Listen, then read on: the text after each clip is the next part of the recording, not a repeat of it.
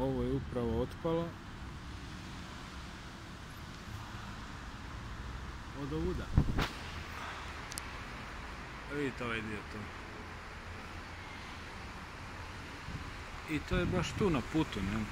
Mom putu prema marketu. Ovo da je kresnulo o glavu.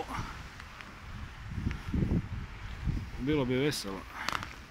Zip ovaj komad. Još ima komad čelika, vidio ovo sve ruzinavo. I tu najnormalniji ljudi idu prema tu dječje igralište. Mislim, dječje igralište pod navodnicima. Tu možda ima par djece na tjedan, uglavnom se tu ono THC narodu pljuga, jel?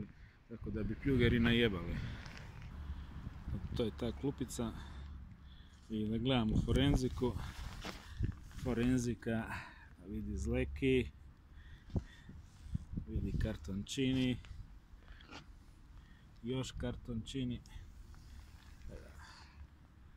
Tu se žešće pljuga. Tu je lerdi.